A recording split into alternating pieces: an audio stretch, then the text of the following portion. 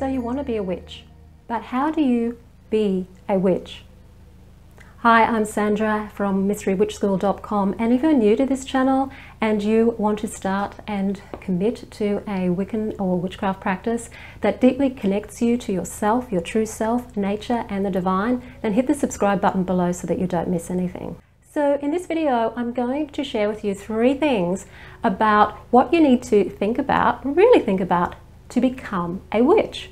A witch isn't really something you become. It is something you already are inside, and you will know whether you are or whether you aren't. So, the first tip is to really explore what it is about witchcraft that attracts you in the first place. What is it about being a witch that attracts you? Why do you want to be a witch? Spend some time really asking yourself what that what the answer is to that question.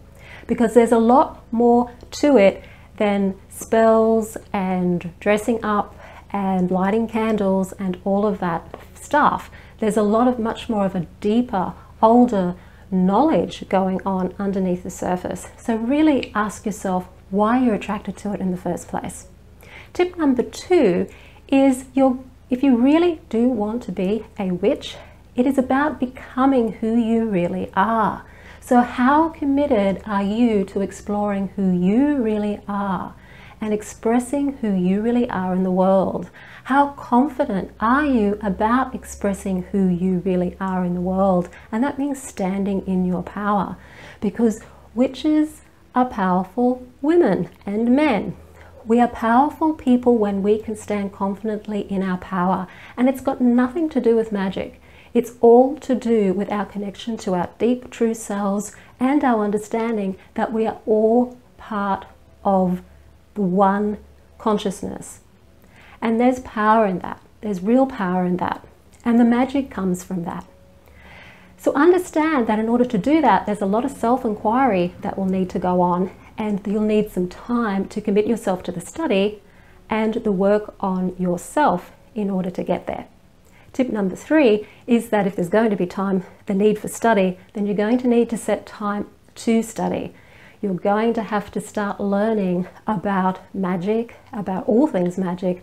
You're also going to need to start to learn about the way people think and what makes us do what we do and what drives us. Because it's not just about doing magic to change the world outside of us, it's about doing magic to change the world inside of us first. Because what happens inside of us affects what happens outside of us. And that is an old Hermetic truth. It's not just a modern New Age law of attraction fad, it is a truth that goes way back into antiquity. Real magic people, magicians, witches, wizards, shamans know that the real work is in the inner, not the outer. And that's where that deep practice comes from. And that means committing to a daily practice. Meditation, grounding, connecting with spirit every day. So they're the three things that you need to think about if you want to be a witch, because being is different to doing. So if you really want to be one, there's some tips about what to explore and what to think about and hopefully get excited about because it's a long journey into the self and into the truth of reality. If you want to know more about how to prepare to start a Wiccan or witchcraft practice, I have a free download called The Three Vital Ingredients to start any Wiccan or witchcraft practice. The details to downloading that are in the description field below. And if you like the video, please hit the like button, share it with your friends, and don't forget to comment in the comments field below. I'm Sandra from mysterywitchschool.com, and I will see you on the next video. Blessed be.